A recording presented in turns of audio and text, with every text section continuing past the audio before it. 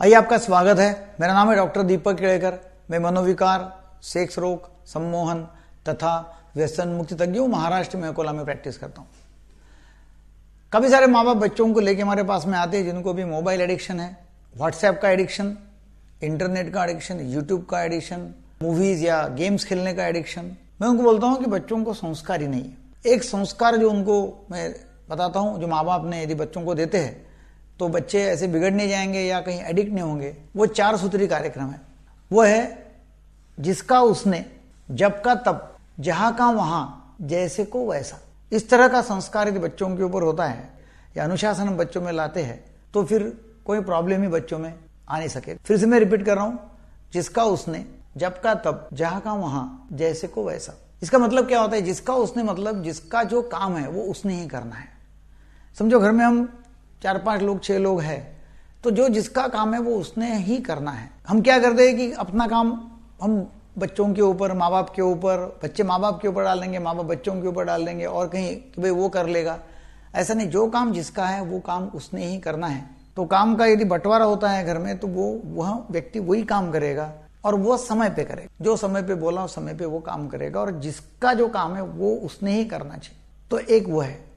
Number दो, जब का तब करना चाहिए। मतलब जो समय पे बोला वो समय पे ही करना चाहिए। और वो हम अनुशासन, प्रियता लोगों में, बच्चों में हम ला सकते हैं। जैसा कोई मेरे पास में व्यक्ति आया, उसने बोला कि मुझे पाँच सौ रुपये उधार दो, मुझे चाहिए। मैं उसको पाँच सौ रुपये दे दिए। उसने बोला, मैं दो दिन बाद में आपको वापस कर दूँगा। अब उसके दो दिन अभी तक आने के चार महीने हो गए। तो जबान को कोई कीमत ही नहीं है। जब का तब, जब बोला मैं वापस करूँगा, तब। जो जब बोलेगा, तब मतलब उसने वो काम करने का है। जो काम जब आपने बोला, तब वो काम करने का है। तो वो अनुशासनता है तीसरा है जहाँ का वहाँ। जहाँ का वहाँ मतलब जो चीज़ जहाँ रखनी है, वहीं रखनी है। जैसा रखना चाहिए, वैसा ही रखना चाहिए। रात का अंधेरे में भी हमको समझो चश्मा चाहिए और नहीं मिल रहा है तो अपने हाथ डाल दिया तो चश्मा मिलना चाहिए। या चाबी।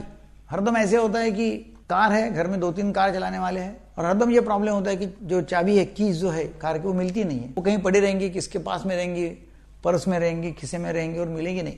या कहीं भी डाल देंगे, पर्स डाल देंगे, जूते कहीं भी फेंक देंगे सॉक्स जो है वो कहीं भी डाल देंगे, कपड़े कहीं भी रहेंगे। तो जहाँ का वहाँ वो चीज़ रखने का है और वो रखते हैं तो और समय पे रखना है। वो रखते हैं तो बहुत अच्छी अनुशासनता आएँगे और वर्केबिलिटी आएँगी मतलब काम करने योग्य परिस्थिति होंगी। और चाहता चौथा है जैसे को वैसा। मतलब जैसे का वैसा। जैसे का वैसा मतलब जैसा करना चाहिए, वैसा ही करना है। जैसा करना चाहिए, वैसा ही करना चाहिए मतलब क्या है? इसका मतलब यह है कि जिस तरह से मुझे मालूम है कि कोई चीज़ करना है उसी तरह मैंने करना है। कोई शॉर्टकट नहीं। जो ज्ञान मुझे है, वो ज्ञान का पूरा इस्तेमाल करके। कोई शॉर्टकट ना वापरते, कोई शॉर्टकट का इस्तेमाल ना करते। जैसा मुझे मालूम है, वैसा मुझे मैंने पूरा ज्ञान देखे और वो भी समय पे करना चाहिए। उसको बोलते जैसे का वैसा। कोई कटिंग कॉर्नर नहीं, कोई शॉर्टकट नहीं है। तो ये हम चार चीज़ें हम हमारे रोज के जीवन में वापरते हैं और वो बच्चों के ऊपर वैसे संस्कार करते हैं।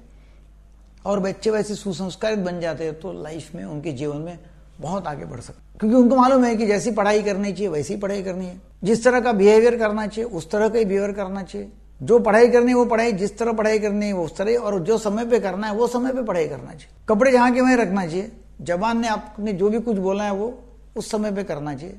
यदि हम करते हैं तो बहुत ही अनुशासनता बच्चे में आएँगी, और अनुशासन में घर चलेगा तो वर्केबिलिटी आती है, और वहाँ से अच्छा परफॉर्मेंस मतलब अच्छी कृति होंगी एक्शंस अच्छे वहाँ से निकलेंगी, और डेफिनेटली सफलता मिलेगी। तो वीडियो आपको अच्छा लगा तो ज़रूर इसको शेयर करो सब्सक्राइब करो लाइक करो। Thank you very much